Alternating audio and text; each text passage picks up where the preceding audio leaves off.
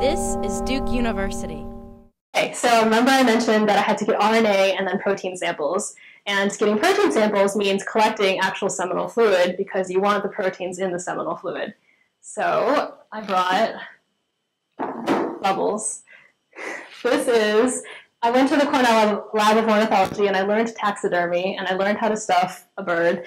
Um, and basically what you're looking at is a blow-up doll for red-winged blackbirds. She is wired in a copulation solicitation position. You will notice the wings are drooping and the tail is cocked here and you allow the male to mate. So um, male birds don't, they, here, I'll just, okay.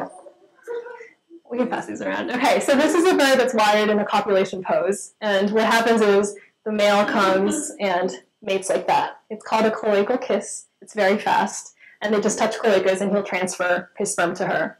Um, here, we can pass these around. just be very careful because they're literally irreplaceable. Uh, so you can pet them. They're very soft, actually. So, all right. So what I did was to post this, um, or pose it, and I waited for males to come and mate with this female.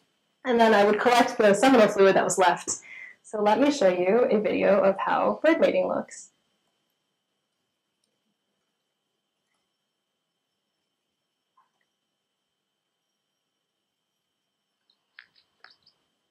So before this starts, let me explain what's going, what you're going to see.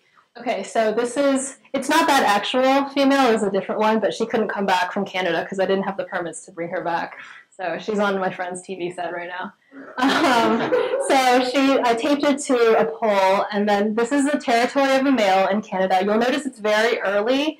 Um, so they were, and males arrived first, so he was actually very happy to see her. So um, he'll fly, he'll make these noises, like some courtship noises, and then he'll mate with her very fast.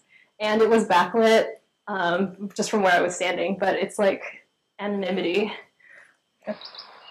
Oh, can you not hear this?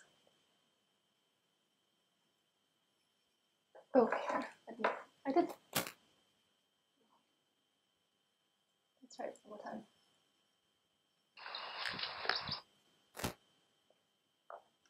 Here, I'll play from my computer.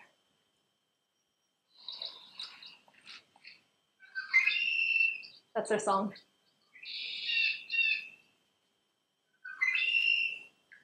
The ends. so that I spent a couple weeks doing that, and basically, here, yeah, after lunch every day, I would just go out, put the bird there, and wait for him to copulate with this female, and then I would um, collect the sample that he had left behind.